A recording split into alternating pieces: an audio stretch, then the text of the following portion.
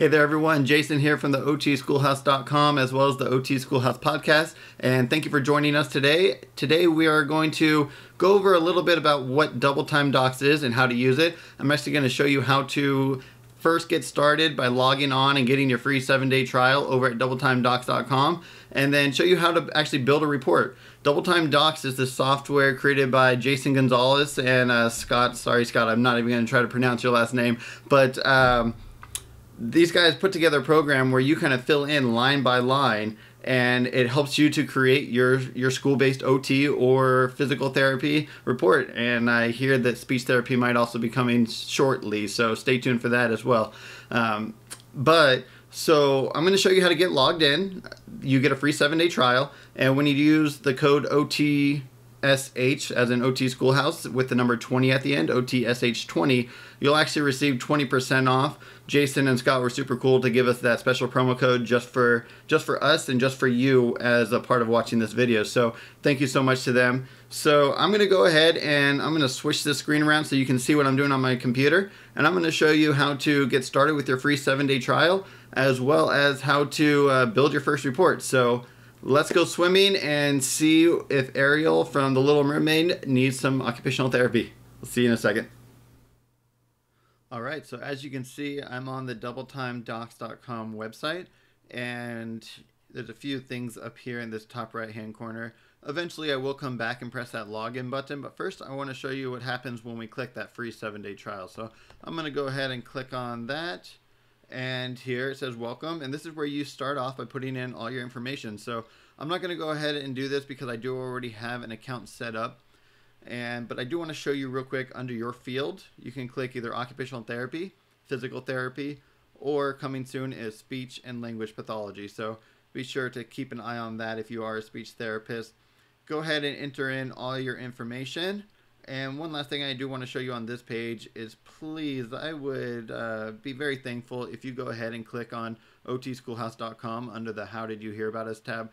That would help let them know that, you know, people are learning about them, about Double Time Docs through us. So very much appreciate if you would take the time to, uh, to put that in when you sign up for your free seven-day trial. So I'm going to go back to that first page, and I'm actually going to hit the login button so you can see what it looks like. I just created this new account a few minutes ago and so I do want you to see what it looks like for the first time when you log in. So I'm going to hit login right here with my credentials in there and you will see this is what it looks like that very first time that you log in. And you'll see right here if you want to create a new doc you would hit create a new doc over here. Right here there's three different downloadable printouts. I want to show you each one real quick. The caregiver questionnaire. We'll let that download here. Open and you'll see it's a caregiver questionnaire. Something that you can easily send home with the child in their backpack, email at home, mail at home, or even give the parent a call and kind of go through some of this. So I'm going to close that and I'll go back here. The teacher questionnaire is very similar. I'm not going to show you that one just because it's so similar to the to the caregiver questionnaire, but I do want to show you the printable questions. And the printable questions is actually the entire report basically except or what you're going to need to fill out when you complete a double time doc except it's all on a six page document. So if you don't have access to doubletimedocs.com while you're kind of getting all this information you could easily print this out and just kind of circle stuff as you go along while you're doing your observations or testing and then you have the answers for when you go back and log on to double time docs. So i'm going to close this out and show you now what happens when we create a new doc. So i'm going to go ahead and do that and you'll now see you have one doc available. I am aware of that, so I'm going to create create new doc. And right here we open up, this is our very first document. As you can see, there's a little tour right here um, that you can keep on clicking next and it'll kind of show you everything that works out. I'm going to kind of show you that tour right here in this video. So I'm just going to press end tour and I'm going to close this real quick. So you can see these are the categories, the main categories that you'll be filling out when you complete a double time doc. However, each time you click on this little piece right here, you can see there's so much information. This is all the background information um, for the student. Actually, it's just like the, the information that you would put right at the very top, you know, their age, their name, all that good stuff. Then you get into the background information, which is just there's a lot of stuff here. Um, but I'm going to go over it with you in a second. Um, I'm going to close this one up. Um, but as you can see, there's many, many different areas. Eventually, you will get down into your summary and recommendations, which I will show you. Some other cool things on this page is that it auto saves right here. You can see that it auto saves every like 30 seconds or so, so you don't really need to worry about pressing that save button. But you should occasionally press save and preview. I don't think anything's going to come up right now when I press that because we haven't done anything. Okay, there you go. Just the very top information of the general general information and it has my name there because it knows I'm generating the report and it has the today's date which is uh, when this evaluation is being uh, being worked on being started so you can always change that if you'd like later and then you have save and download and that's when you're completely done you're going to save and download your your template or your final report so that you can print it out and present it at the IEP so real quick, I'm going to close out Mozilla Firefox because I actually have a, a completed report already done. And here it is. This is another account that I have. And as you can see, I've got Ariel Triton's report here from The Little Mermaid. Uh, I have the date of this report as being completed in 1989, which is when the movie came out. And I'm going to go ahead and open, click edit so that we can go ahead and check out Ariel's report. And so the first thing I want to show you after I hit this edit page is the save and preview button. Remember I hit that a second ago and all you saw was the general information? Well now I've already gone through and completed all this and I'm going to go through it a little more completely for you.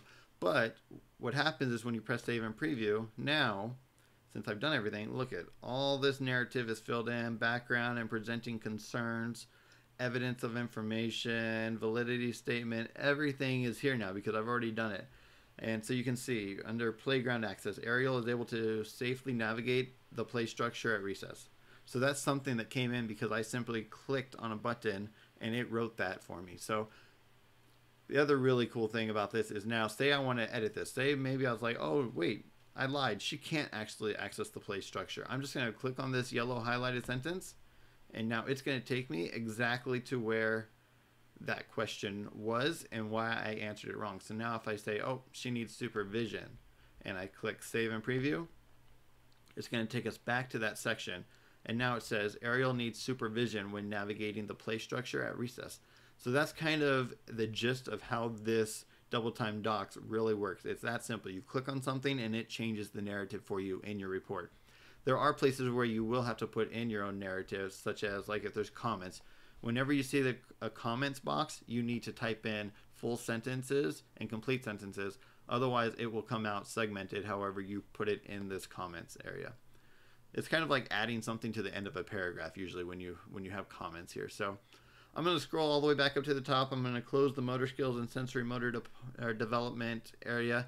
And I'm just going to kind of go through each of these sections relatively quickly. I just want to show you what's here so that you can go get into your your free seven day trial and uh, explore it for yourself. There's a lot of really cool stuff here. And when you're ready to, just head on over to Double Time Docs. Don't forget that you can use OTSH20 as a promo code and you will receive 20% off. And you can do that anytime within that first week, and that, that will give you actually, um, you'll get free three documents, including actually when you do that before the seven day trial is over. But First of all, general information. I already kind of showed you that, but I will go through Ariel Triton. She's a female. Um, I did the math, and, and if the movie came out in 89 and she was 16 at the time, which according to Wikipedia she was, then she must have been born in 1973. Um, 16 years old. She goes to Atlantica Prep and evaluator. As you can see on this one, I did add my credentials at the end, OTRL. So now at the top of that report, instead of just saying Jayson Davies, it will say Jayson Davies OTRL. And then when we open up the background and presenting concerns, you can see I just use the standard purpose of evaluation or you can do a custom purpose of evaluation. So I'm going to go ahead, go ahead and click save and preview so you can see what the purpose of evaluation. This is the standard purpose of evaluation. Every occupational therapy report should have something like this. It oftentimes will kind of describe the difference between school based OT and medical based OT and what we can assist students in here at school. So be sure to check that out and modify it any way that you'd like. You can always create a custom purpose of evaluation and then just copy and paste it every time you get into this document. Is the student in school? Yes. Or if they're not, type in something here. You'll notice that right now, if I don't fill anything out here, it's not going to say anything about the student not being in school. But as soon as I type something in here, um, because recent injury, I'm going to put injury. Um, oops. So now I press save and preview. It's going to show us. Um, it's somewhere in here, and it'll say that she is not in school because of a recent injury. anyways, it's somewhere in here. I promise that's kind of how this system works. It's just sometimes when you have a full narrative, a little bit hard to find. I should be able to find it though. I'm surprised. Usually something that um, that you recently changed pops up in blue, but it's very possible. Let me unclick is the student in school and now press save and preview. You know what? I'm going to do a little quick thing here. I'm going to press Command F and make this easier on myself and just write injury. And now you'll see here it is. Ariel is not currently in school because of a recent injury or because recent injury. So I didn't read the sentence completely. If I would have, see right here, it says fill in. Student is not in school because I should have known to write in because of recent injury. So my bad, but that's how easy this is to use. After a few times, you really start to figure it out. Um, continuing on, you'll see what type of classroom, who does the students, who does the student live with, you know, King Triton, Queen Athena, and her six older stepsisters. She's already receiving SLP for a lost voice, and I thought she might need it, might need some counseling, so I put that in here. Any other services the student needs. Interview. So this is kind of where you where you would say who was the interviewee that you talked to about this student. So I put Queen Athena, um, her mother, all that good stuff, some history of health, any concerns from the parent, and what type of evaluation this is. All right, so under evidence of information, this is kind of where we get into to more about the student. You know, how does she communicate? Where was the location? I didn't mark anything here because I put down here under the C. You know, fill in. The assessment was completed blank under the C. So that's what I did everything that you actually put on here. This one I do want to talk the assessment tools because as you can see I completed the BOT-2 with Ariel and then I put in my interpretation right here. So with that I do want to just I'm just going to put one just so when I press save and preview you're going to see that it's going to show me it should go right to near the bot scores. It's not going as as close as it usually does. But as you can see, it gives us the bot grid, which you cannot yet fill out on Double Time Docs. It may be coming soon, I would imagine, but underneath that, you can see right here is exactly what I wrote in as the summarization of the BOT-2 assessment that I completed with Ariel. Then what you would do is once you download the file, once you're completely done with the file, you press download, it will download with this grid and you can easily go in and just put in your numbers real quickly. So I think that's something that Jason and Scott are working on, but it might be a, a few weeks or months before that completely gets in there. Um, let's go back. I don't know why I still have that open. Let's go back here and show you a little bit more. All these assessments will do the same exact thing. So say I did the print tool. Again, I'm not going to see the grid, but I can type in my interpretation real quick and we go down, you can type in other assessment tools as well. Of course, the grid won't show up for those other assessment tools, but you can do that. Would you like to include a bulleted list of your assessment tools on the report? I always do this, so I always click yes here. And use of a validity statement, which is, you know, was was the test valid? It'll kind of give you a a template already in there, just kind of saying all tests used were valid and and directly and um, were were available to use with the student and age appropriate. So I did add a little bit in here for custom validity statement, and all it did was it added it to the end of this um, standard validity statement. So that's cool to realize. Um, occupational profile, I'm not going to go into that one, but uh, I guess I'll go over really quickly. Least favorite subject and why, favorite subject. So, kind of that interview with the teacher or with the student, I mean. Um, what supports are currently in place, which is great, and what are the barriers to student participation right now. Any routines, any student goals. So, if you did a student interview, you can do that here. What does the student want to be when he or she grows up? And just note that maybe this is a first grader and they have no idea what they want to be when they grow up. All you have to do, I put human for Ariel, all you have to do is delete that. And now this sentence will not show up in your report. So you don't have to worry about going and finding that and deleting it from your report. It's just not going to show up. It knows that you didn't type anything in here. So it's just going to omit that part of the of the narrative when you print it out or save and download. So now uh, behaviors, transitions, all that good stuff. Following directions. Do they have appropriate affect? Did they show eye contact? Do they have good sitting posture? That's always one that sometimes I forget to that I forget to report on. And so by using double time docs, it's really easy. Hey, sitting posture. I need to I need to check that, even if it's just hey, it's good. Well, that shows that in my report that I did check it. Are they able to sustain attention? So all that good stuff. So motor skills. This, of course, gets into now we're looking at ability to access the playground, um, physical education, PE. Can they use everything in the classroom? Can they navigate the classroom? I know in here, I believe, is where I'm going to scroll down a little bit, is about using, oh, here it is, right handedness, the type of grasp that they use, and do they use adequate pressure? Do they have an open web space? Again, if you don't click something, then it just doesn't show up. So if you don't want to put something in, that's fine. Just just don't click it. Uh, let's see here. Scissor skills, cutting. I put in here that she had no idea how to use scissors. That's because, you know, she likes to collect things, but she doesn't know what they're for. So she collects scissors, but doesn't know how to use them. Um, coloring skills. All this good stuff is really in here. And I don't really want this to go on too too much longer. I want you to get onto Double Time Docs and get your free trial going. So I'm going to see there's a lot here, but it's nice because it takes it. It only takes a few seconds to actually type something in. So near point copying, you know, you can press 10. A little trick instead of having to use your mouse, just press the tab button. You go down to the next one, and then you write um, 80% far point copy.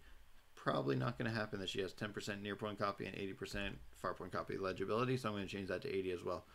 And so I'm not going to go into the social emotional behavior skills, but there is a lot there.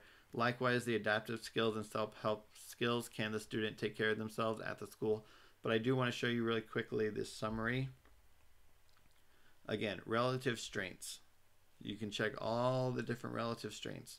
Then you can also go into what is currently being modified or accommodated for for the student. Are the strategies that you've put in place working? What are the areas of needed support? I put classroom tool use, technology, accessibility, and written expression. And any other comments that you have there. Is OT recommended? Boom, right there. I'm going to click yes. I'm going to press save and preview. It's going to scroll all the way down to me right here. At this point, OT services are recommended to address the areas of need mentioned above. As Ariel's function, functional participation includes improves, it is anticipated that uh, OT will be discontinued unless additional needs are identified by the IEP team. So that is like the key thing right there. When you press yes on our OT services needed, that sentence is going to to appear in your report. Again, I'm going to click on that. It's going to take me right back to that question. I click no, I click save and preview, and you're going to see that sentence is now no longer there. In fact, it says at this time, OT services are not recommended because Ariel's deficits cannot be addressed by school based OT. All right, so after that, you get down to recommendations. So right here, I'm just going to click again. I'm going to click on modified scissors, and it's going to take me right to under the recommendations. Now, the recommendations page is open. Again, all simple recommendations that you can make just by the click of a button. You don't have to go through and type it, uh, type them in. You can just say, oh, they need uh, Ariel needs supervision on the play structure. You know, Simple as that. And then you see all these different different um, accommodations and modifications that you can easily recommend with the push of a button. Then say there is something that you don't see on here. There is always at the bottom several spots where you can put in another, a different other accommodation that maybe wasn't listed above. So that's what there is to it. You can add um, student needs access to an uh, iPad. I don't know, something like that. Let me capitalize that. Press save and preview.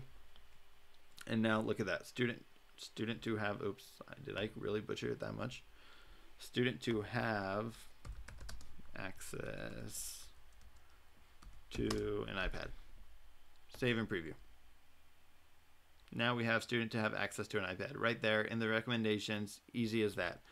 So I'm going to close that up. I'm going to now close everything here. All this is good to go. I'm done with my report. I've saved and I previewed it and I like it. I'm going to hit that save and download button right there. And you're going to see now it's asking me where do I want to save this to. I'm just going to go ahead and, well, save it wherever it saves to real quick. And then I will actually upload that final report on, actually just below here. You'll be able to access this report from this website, whatever website you're watching this video on, you'll be able to access that assessment report and you can see exactly what the double time docs report looked like once I went through all of this and completed this. So well, that about wraps it up. That is Double Time Docs in a nutshell and how to use it. So I hope you guys will take uh, Jason, Scott, and I up on that um, that free trial right here, free seven day trial. All you have to do is go to doubletimedocs.com and hit, click on that link that I showed you earlier that's right up at the top right that says free seven day trial. If you like what you see and you want to use this as your template, or maybe even your entire school district wants to use this as their template, they have an option for that as well. So um, use that promo code OTSH20 to get 20% off your first paid purchase from doubletimedocs.com. Be sure to do that. I hope it helps you guys. And um, yeah, I wish you the best of luck in writing your assessment reports. And and I hope this is for you. If it's not for you, no pressure. I don't want you to use something that's not for you. But uh, for anyone out there that will like it, it's available for you. All right, well, I hope you enjoyed that introduction to Double Time Docs. Again, Double Time Docs is a software that helps OTs, PTs, and SLPs, or at least soon will be able to help SLPs write school-based assessments for evaluation for special education. So be sure to check that out at doubletimedocs.com to get your free seven-day trial and use OTSH20 to get 20% off your paid subscription. And uh, yeah, that wraps it up. Thank you again. I'm Jayson from the OTSchoolhouse.com and the OT Schoolhouse podcast. I'll see you next time on the podcast or online. Have a good one. Bye bye.